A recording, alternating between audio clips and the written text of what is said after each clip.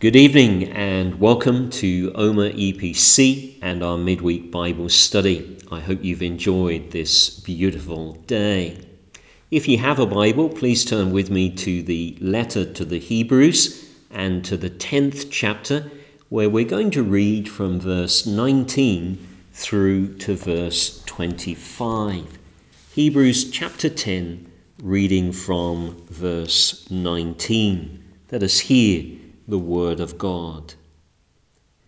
Therefore, brothers, since we have confidence to enter the holy places by the blood of Jesus, by the new and living way that He opened for us through the curtain, that is, through His flesh, and since we have a great high priest over the house of God, let us draw near with a true heart in full assurance of faith, with our hearts sprinkled clean from an evil conscience, and our bodies washed with pure water.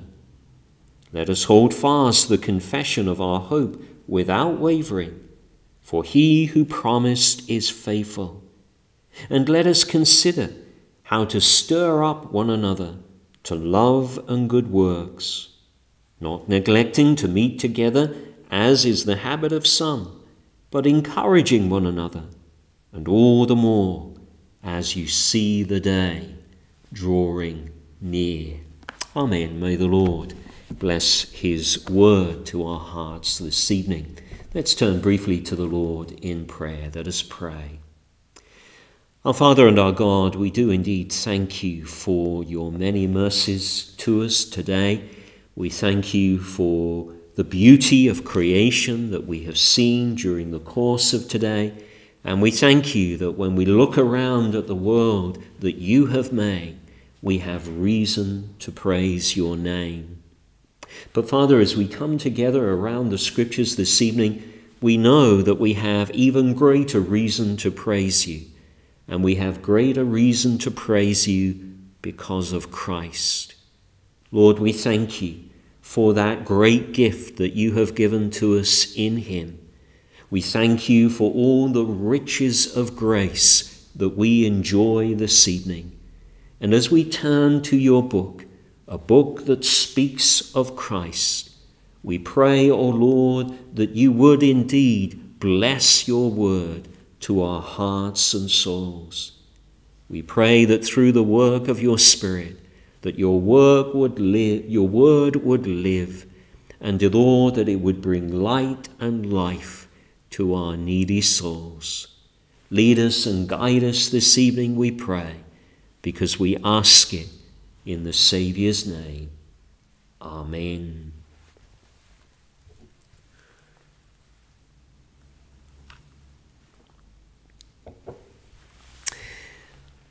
When we were at school, it's sometimes difficult, isn't it, to make the link between what we are studying and our future. Uh, that's particularly the case if we're in the midst of exams and we're sweating over preparation for those exams, and then we have the stress of taking the exams, and sometimes it's difficult to make the link between what we're doing and our future. It's difficult to make the link between studying English and maths and French and biology and what we ultimately want to do in the future. And interestingly, we face a similar struggle in the Christian life, in the sense that sometimes it's difficult to make the link between Christian doctrine and practical Christian living. It's difficult to join up the dots between the two. Now, the interesting thing is that Scripture recognizes this difficulty. And what we often find, and this is particularly true of the letters, is we find a doctrinal section to begin with, and then that doctrinal section is followed by a practical section.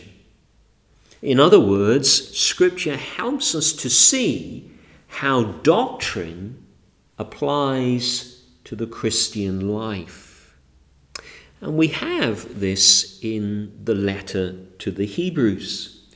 In Hebrews chapter 1, verse 1 through to chapter 10 and verse 18, we have an in depth theological argument. And in that in depth theological argument, the writer of Hebrews shows wavering Jewish believers that Christ is better in every sense, that Christ is better than what has gone before. Uh, Christ is better than the angels, Christ is better than Moses, Christ is better than Aaron and the old Levitical system. Now, the point of transition in Hebrews comes at the point of chapter 10 and verse 19. From chapter 10, verse 19 onwards, the goal of the writer is to make the link between theory and practice. He begins to show how the doctrine of the opening nine chapters or so applies and relates to the nitty gritty of living for Christ. Now, what I want us to do this evening is to take a look at an interesting passage, chapter 10, verses 19 to 25.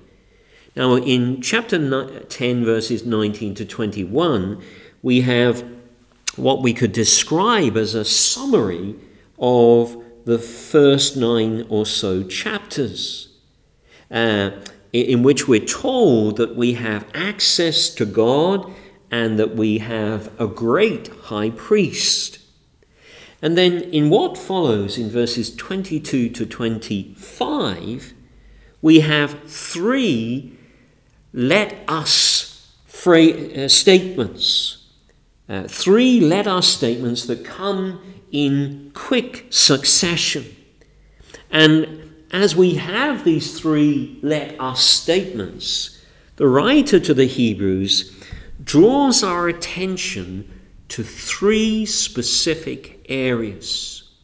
And what I want us to do, just for a short time this evening, is to look closely at these let us statements and these three areas that the writer to the Hebrews draws our attention to. The first is worship. This great theological argument of Hebrews helps us to worship. In fact, it positively encourages us to worship. Take a look at verse 22. Let us draw near with a true heart in full assurance of faith with our hearts sprinkled clean from an evil conscience and our bodies washed with pure water. What are we to do this evening? We are to draw near. We are to come into the presence of God. The old barriers have gone, and we can now come before Him. And I want you to notice that within this command to draw near, we're given four guidelines to worship. The first one is sincerity. We are to draw near with a true heart. As we come into the presence of God, we are to come with a sincere and undivided heart, a heart that has the right priorities and the right affections, a heart that is, if you like, given over to God. So there is sincerity. But sincerity isn't the only thing. There's also assurance. We are to draw near with a true heart in full assurance of faith. Yes, we are to come, and we are to come with a sincere heart, but we're also to come with a believing heart, a heart that rests completely upon God and his promises. So there's sincerity and there's assurance. There's also to be a clean conscience. We are to draw near with a true heart in full assurance of faith, with our hearts sprinkled from an evil conscience. We are to come with a heart that has been sprinkled with the blood of Christ, which, unlike the blood of sacrificial animals, is able to cleanse the conscience of guilty fears. So there's sincerity, there's assurance, and there is a clean conscience. And lastly, there are washed bodies. We are to draw near with a true heart, in full assurance of faith, with our hearts sprinkled clean from an evil conscience, and our bodies washed with pure water. Now, what's in view here well, uh, many believe that what's in view here is water baptism. But like Calvin, I tend to think that the writer actually has something else in mind.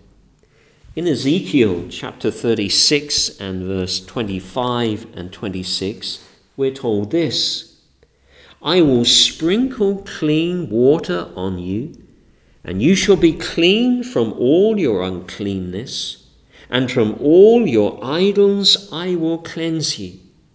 And I will give you a new heart, and a new spirit I will put within you. And I will remove the heart of stone from your flesh, and give you a heart of flesh.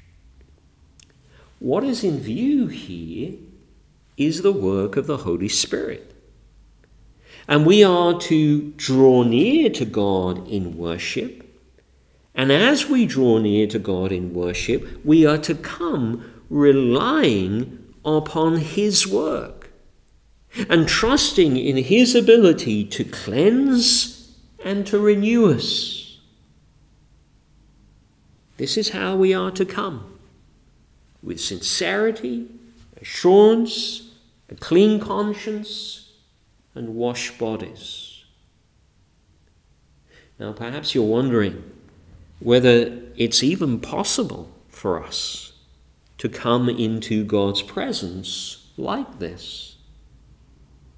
Well, it is possible, and it's intimately linked with the great argument of Hebrews. Now, just take a look at verses 19 to 21.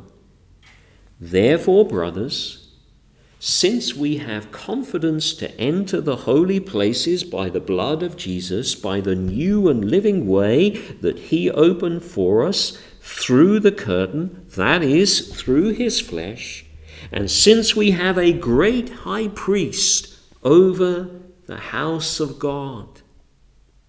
Now remember, we said earlier that these verses, verses 19 to 21, are a summary of the entire argument. We have access to God and we have a great high priest. And it is on that basis that we are exhorted in the very next verse to draw near. Uh, can you see what the writer to the Hebrews is saying? He's saying it is possible it is possible to draw near. It is possible to draw near uh, to God in this way because of Christ. Now, of course, we can draw near to God privately. But bearing in mind what the writer to the Hebrews goes on to say in verses 24 and 25, it seems pretty clear that what is at the forefront of his mind is public worship where collectively the people of God draw near. And what a glorious thing it is when the people of God draw near to God together. Uh, that's one of the things that has been brought home to us, hasn't it, during the period of lockdown? Just how precious it is to meet together, to see one another, and to come together into the presence of God. Now, sadly, even within evangelicalism, uh, there are some who have a very low view of public worship. But if the writer to the Hebrews were alive today, he would say to us, Why on earth would you want to stay away? Uh, bearing in mind everything that I've said. For thousands of years, uh, the vast majority of believers were kept at arm's length, and God said to them, Thus far and no further. But now the barriers have gone. Now you enjoy all the privileges. And you can draw near in and through the Lord Jesus Christ. It is an awesome privilege to draw near to God collectively in worship. So, how does theology and how does the great theological argument of Hebrews help us practically? Well, it positively encourages us to worship. The barriers are gone, and we can come. We can come with our brothers and sisters in Christ into God's presence. So, the first area and the first let us is worship. The second area is truth. The great theological argument of Hebrews positively encourages us to contend for the truth. Take a look at verse 23. Let us hold fast the confession of our hope without wavering, for he who promised is faithful. Now, the word confession, as it is in the ESV, or profession, as it is in the authorized version, is a word that means public and doctrinal confession. What is in view here is that body of truth concerning Christ and his cross. That body of truth which is built upon God's promise and which is the foundation of our hope or our faith. And it is that body of truth to which we are to hold fast. What is in view here is the essentials of the Gospels. Not those secondary issues that sometimes divide Christians, but the essentials, the central truths of the gospel of grace. Now, sadly, uh, truth is under attack in our day. And perhaps most disturbingly, the truth is under attack uh, within our own uh, ranks. Uh, we're used to liberals and atheists attacking the truth, but now even uh, those who call themselves evangelicals are attacking the truth. There are evangelicals who deny the substitutionary work of Christ upon the cross. Uh, there are evangelicals who now question whether the Reformation was actually necessary and reject the idea that a man or a woman is justified through faith alone in Christ alone. They think that the reformers misunderstood Paul and the gospel. Now, these are not secondary issues. These are things that go to the very heart of the gospel. And however alluring those siren voices may be. The writer to the Hebrews is telling us that we are to hold fast the confession of our hope. There can be no compromise. There can be no compromise on the essentials of the gospel of grace. Now, of course, there were siren voices in the the day in which the writer to the Hebrews was writing. Uh, there were those who were saying to the struggling Jewish believers in Rome that they should return to the old Judaism and that it, it, was possible for a man or a woman to be right with God through the sacrifices offered in the temple in Jerusalem. But in the opening chapters of this letter, the writer to the Hebrews has shown his readers that Christ and Christ alone has offered the once and for all sacrifice for sin, and that Christ and Christ alone makes sinners right with God. And that is an issue upon which they could not compromise and that is an issue upon which we cannot compromise. Because to compromise on the essentials of the gospel is to destroy the gospel. You see, again, there is a, a direct link between theology and practical Christian living. Not only does the great argument of Hebrews uh, encourage us to worship, but it encourages us to contend for the truth. And by natural consequence, to proclaim that truth.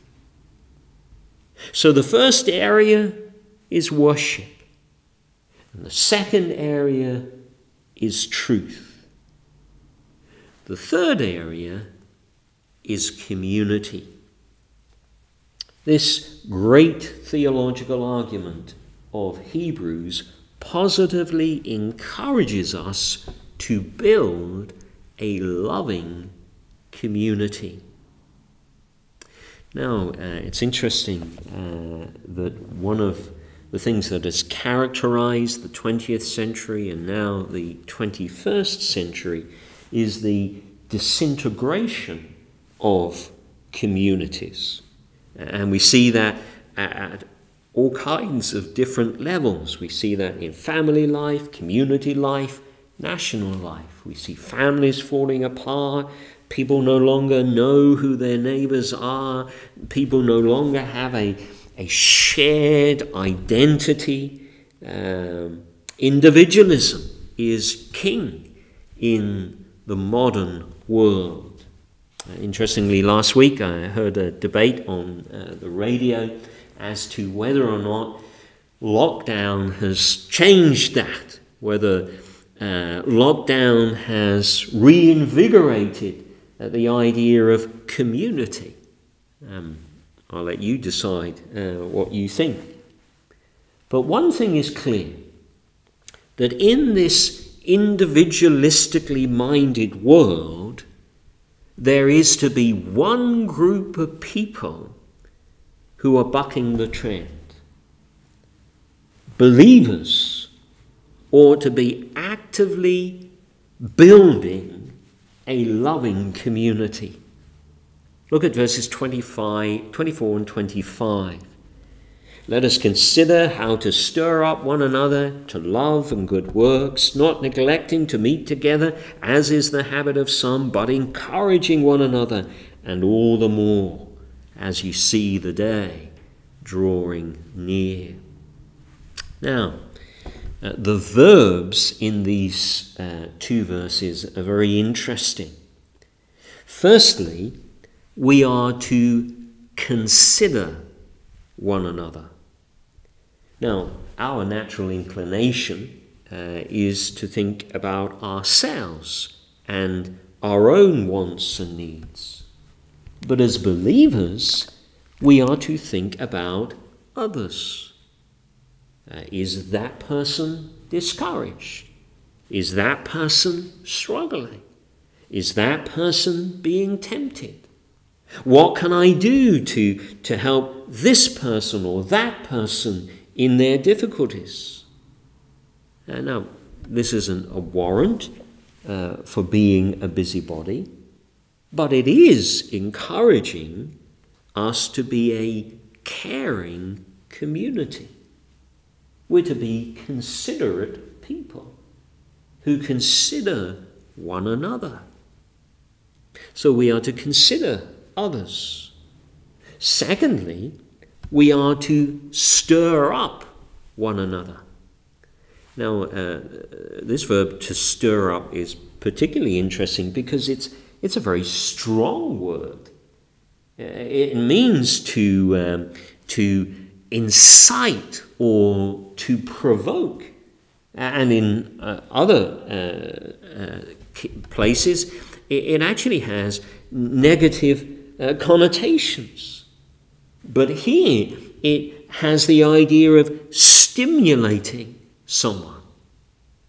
Uh, perhaps as you consider the needs of others, you, you come across a, a believer, and it's obvious that their, their love and zeal are beginning to wane.